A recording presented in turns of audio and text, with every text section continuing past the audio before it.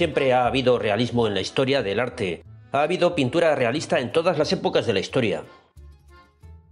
Más o menos clásico o más o menos barroco. A veces un realismo más idealizado, a veces un realismo más naturalista. A veces un realismo fantástico, casi surrealista. A veces muy emotivo, casi expresionista. A veces un realismo casi fotográfico o hiperrealista.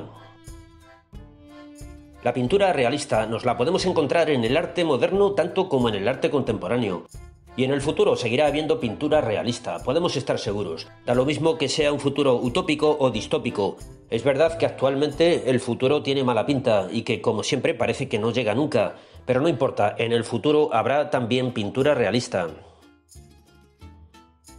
Vamos a ver en este vídeo unos cuantos pintores rusos, pintores poco conocidos, pero que se merecen un puesto de honor en la historia de la pintura realista.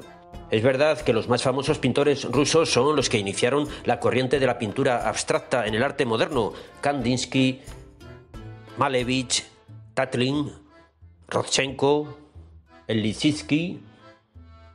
Muy bien, pero durante todos esos años de revolución comunista en Rusia y de revolución abstracta en la pintura, Hubo también pintores que siguieron haciendo pintura realista, como por ejemplo Lebedev, o Kleber, o Serebriakova, o Senderov. No seguían exactamente la tradición de los grandes maestros rusos de la pintura realista del siglo XIX, como por ejemplo Repin, o Surikov, o Bereschagin, o la pintora María Barskisteva, o cualquiera de los pintores que formaron parte del grupo de los itinerantes o vagabundos que no se sometieron a las directrices establecidas por la academia y por el régimen de los zares que gobernaban en Rusia. Grandes pintores que lamentablemente han sido olvidados ante la avalancha de pintura abstracta, constructivista o suprematista que trajo la revolución y que arrasó con todo y sin discernir nada a la hora de plantearse si todo el arte anterior a la abstracción debía ser considerado reaccionario y burgués. Recordemos que Tatlin y Malevich andaban por ahí gritando consignas como muera el arte, arrasemos los museos, viva la revolución proletaria, etc. ¿Alguien se atrevería a decir que estos pintores no eran unos grandes artistas cuyos cuadros se merecen unas cuantas salas en algún museo? ¿Acaso no se merecen al menos una pequeña pared en algún pequeño museo estos cuadros de Sundukov? ¿O Petrov? ¿O Malagis? ¿O Paulov?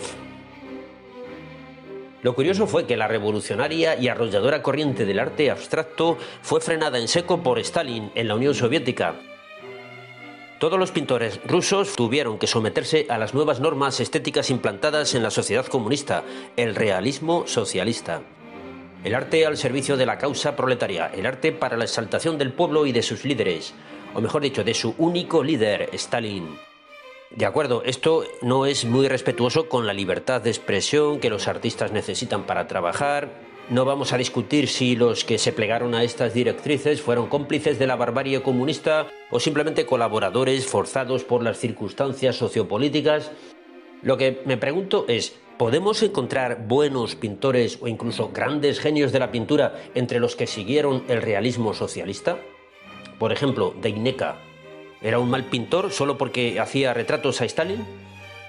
Habría que revisar la obra de todos ellos y a lo mejor podemos rescatar algunos buenos pintores y algunos buenos cuadros para el Museo de los Pintores Olvidados. Podemos encontrarnos al grupo de los inconformistas, como por ejemplo Rabin.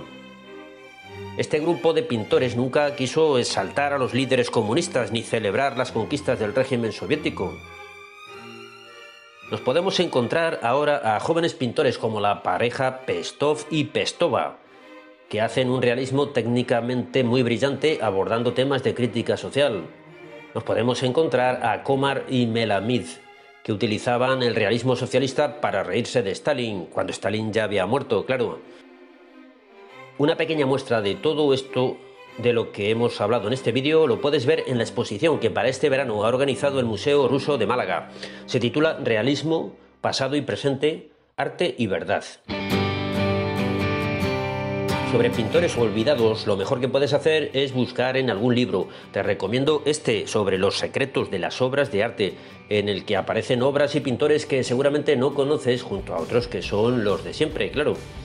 Y nada más por hoy, no te olvides de poner un me gusta y escribir algún comentario o sugerencia o petición especial para los próximos vídeos de algún tema que te interese. Y suscribirte, por supuesto, y si ya estás suscrito, a lo mejor te puedes plantear apoyar este canal en mi página de Patreon desde un dólar al mes. Hasta el próximo vídeo, adiós.